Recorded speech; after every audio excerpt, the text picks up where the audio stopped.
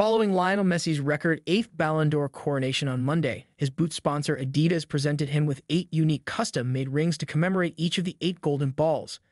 The 2009 ring, dubbed El Beso, or the Kiss, depicts Messi kissing his boot after it fell off during a header goal in the 2009 Champions League final. The 2010 ring is named the Punta al Cielo, or Aim for the Sky, depicts Messi's iconic sky-pointing celebration honoring his late grandmother and is engraved with Roman numerals L to symbolize his 60 goals during the year. The 2011 ring is named the GOAT, marking Messi's third consecutive Ballon d'Or, clearly featuring a GOAT image and the words on the side. The 2012 ring is called El Año and honors the 38-year-old's staggering 91 goal record during the year. The 2015 ring bears the name La Cuarta or the Fourth, symbolizing Messi's fourth Champions League title. The 2019 ring represents Messi's sixth European Golden Boot Award with all of his goal tallies in each of his boots imprinted on the side.